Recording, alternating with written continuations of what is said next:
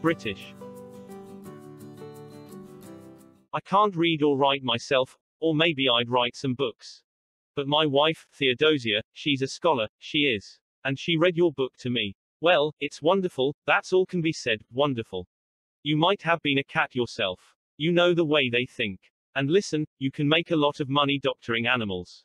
Do you know that? You see, I'd send all the old women who had sick cats or dogs to you. And if they didn't get sick fast enough, I could put something in the meat I sell 'em to Makaram sick, see? Thai. I can't read or write myself, or maybe I read some books. But my wife Theodosia, she's a scholar, cheese, and she read your book to me. Well, it's wonderful, that's all can be said, wonderful. You might have been a cat yourself, you know the way they think. Allison, you can make a lot of money doctoring animals. Do you know that?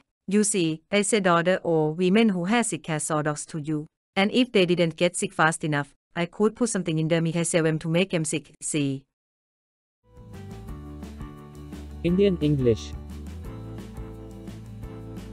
I can't read or write myself, or maybe I'd write some books.